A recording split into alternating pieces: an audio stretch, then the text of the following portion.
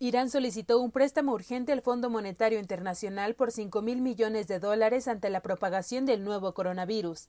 El gobernador del Banco Central de Irán, Abdol Nasser Hemati, reveló que el 6 de marzo escribió una carta a la directora gerente del fondo, Cristalina Georgieva, solicitando el instrumento de financiamiento rápido ante la gran propagación del coronavirus en el país y la necesidad de seguir aplicando importantes medidas de prevención y mitigación del impacto económico.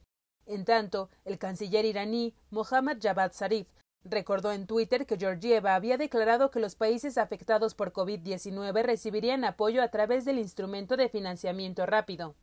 Este instrumento proporciona de forma expedita asistencia financiera a los países miembros que enfrentan una urgente necesidad de balanza de pagos. Con 9.000 casos y 354 decesos confirmados hasta el jueves, Irán es ahora el tercer foco más importante de la nueva infección por coronavirus, detrás de China e Italia.